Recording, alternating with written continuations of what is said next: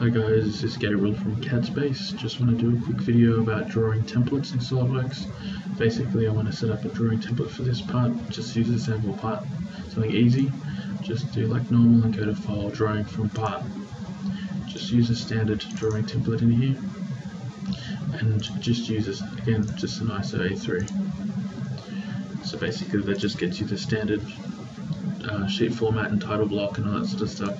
And what I want to do is just, I always want my drawings to have a front view, a top view, a side view, and I also always want them to have an isometric view on the side here, and I want that always to be shaded as well. Okay, now that's kind of what I want all the time, so I've set that up. Next thing I want to set up is the sheet format.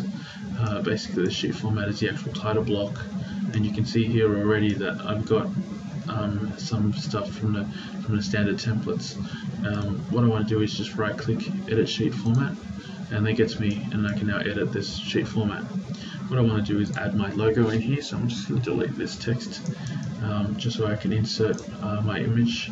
Um, the way I insert it is through the object, uh, create from file and then just find it in my my Windows Explorer. The reason I use insert object is because it produces a much higher quality image, uh, better resolution for printing.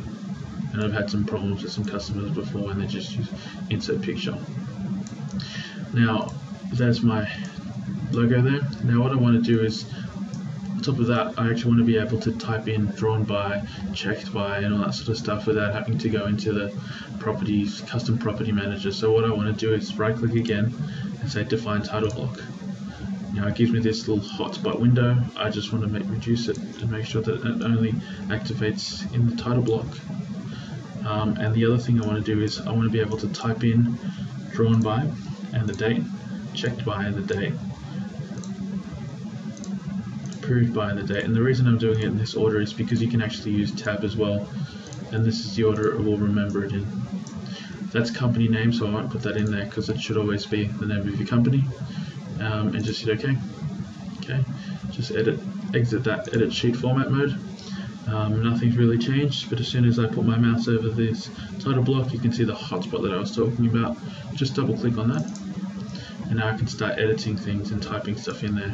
What I normally do is you can see up here, I normally put four X's um, for my template, just so people know that these things are the ones that you can fill out. And if it didn't remember it, just do it again. And again, I'm just using that tab just to make it a little bit quicker for myself. And the next one is for fishing.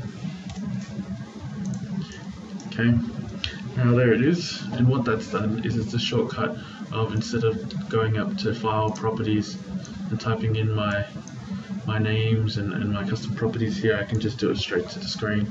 Just makes it a lot easier. So I'm happy with this. What I want to do is I want to start saving my template now.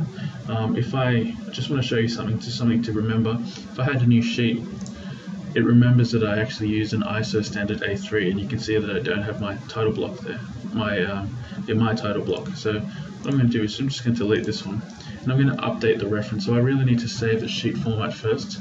So we go to File, option here, Save Sheet Format, which is the title block, and just make sure you save it as your company name just easy to remember, and then the size that you use, that's A3.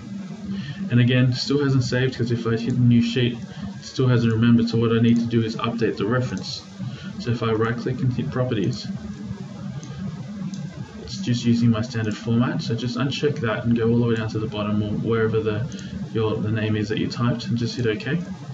So that now when I click a new sheet, it's using my my title block and, and my logo as well. So that's what I want to do so that my template it's correctly assigned and referenced. Um, so once that's done, I just want to save now, save as, and to a drawing template. And you see I'm not really worried about where I'm saving it, it usually goes to the correct location unless you've updated it, in which case you should really look into your tools options and document locations. And what I want to do is again, oops, just want to set call, name that same as before, CADspace A3 now it's given me a note saying I can only save predefined or entry views. Um, any models, dimensions will be removed, and you can't save any section views, detail views, or crop views. So that's fine. If I hit OK, you can see here they're all empty because they're just containers for the next time I use this template.